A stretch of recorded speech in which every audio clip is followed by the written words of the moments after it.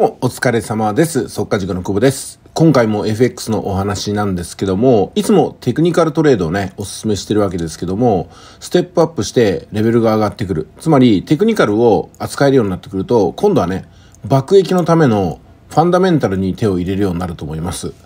で、今回お話しするのはね、ファンダメンタルをどのように、まあ、やっていくかってことなんですけども、ものすごくめんどくさくって、ものすごく勉強量が必要です。その代わりものすごく儲かります。まあ、その触りだけをね、ちょっとお話しようかと思います。例えば今ご覧いただいているのが、米国の雇用統計なんですけども、この発表がね、2023年5月5日、子供の日の21時30分ぐらいにあったわけなんですよ。21時30分ぐらいに発表があると、価格っていうのはですね、えー、反発して、ご覧のように上昇を迎えることになります。えこういうのをね、まあ、取っていきましょうってことが、あの、ファンダメンタルなんですけども、ファンダメンタルを成功させるためには何をすればいいか。私が、ファンダメンタルが起きるぞと、雇用統計の前だから、倍で仕込んどくぞっていうのを待つというのではダメなんですよ。まあ、というのがね、ただ単に目の前の現金を増やしたいだけならそれでもいいかもしれませんけども、でも結局は私がいなくてもね、一人でできるようにならなくちゃ、FX ってのは、まあ、意味をなさないんですよね。まあ、つまり弾薬の込めてないような大砲なんですよ。私が弾薬を持ってこないと撃てないってことになると、戦争負けちゃうでしょ？で、ビジネスも投資もそういった戦争の意味がありますから、自分で弾を込めないといけないんですよ。つまり、この今回の米国雇用統計は、どのような動きをするのかなってことです。その判断をするのが玉込めなんですけども、さあ、玉込めのためにね、どんなことをすればいいのか。例えばここにアナリストの見解が出てます。まあこれを真に受けちゃダメなんですけども、まあ一応ね、どこを見ているのかってことを参考にこうやって読み込むわけですよ。で、当然、そうすると、ここにね、プロフィール、小川さんっていう人が出てますけども、小川真紀さんね。こういった、あなんですかね、アナリストのね、なんか有名人っていうのもだんだん分かってくるんですよ。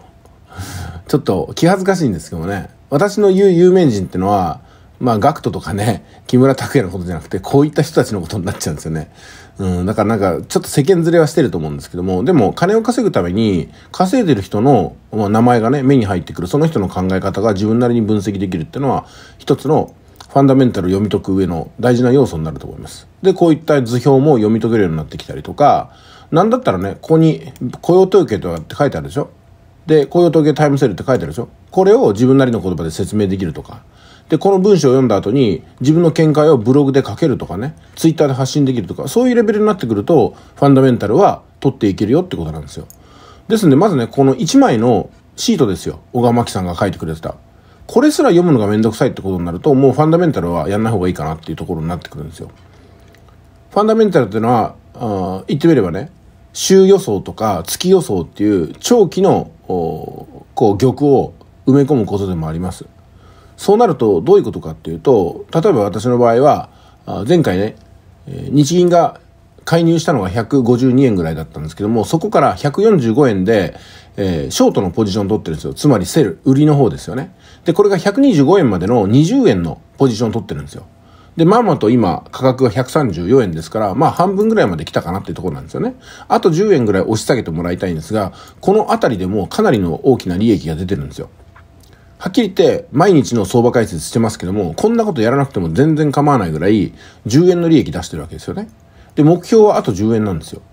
ですんで、今別に利確しても大きな利益が転がり込んでくるんで、まあ今年の年収ぐらいはなんとかなるかなってところなんですけども、まあそれでもね、私みたいなロングのポジションってやっぱ持てないでしょ。それはこういったことをたった1枚を読めないと、もうもっともっと読み込みと判断があ任せられる世界ですからね。たった1回のセルのポジションにどれぐらいの労力の投入をしてるかってことなんですよ。まあ、それは本当に年単位だというふうに言ってもいいかなと思います。と同時にですね、私は思うんですけども、こういったアナリストさんもそうですけどね、まあ、アナリストって結構当てにならないんだ。私あんま好きじゃないんですけども、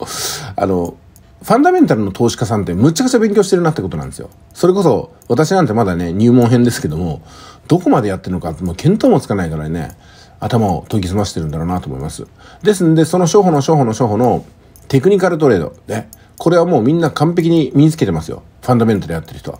テクニカルならもういつでもお茶の子さいさいですよね。だからファンダメンタルって言って一桁二桁違う利益の世界に入るわけなんですよね。もちろん生活を支えるぐらいとかね、あの、何事もなく年金時代まで自分の稼ぎを FX で得ようと思えばテクニカルで十分です。まあでも、目指す先の世界もあるってことね、今日はお知らせしたくてこの動画にさせてもらいました。はい、えー、じゃあですね、今回、米国雇用統計5月はもう終わりましたんで、またね、えー、今度19週目に向かうってことになります。今年の19週目は5月8日から12日です。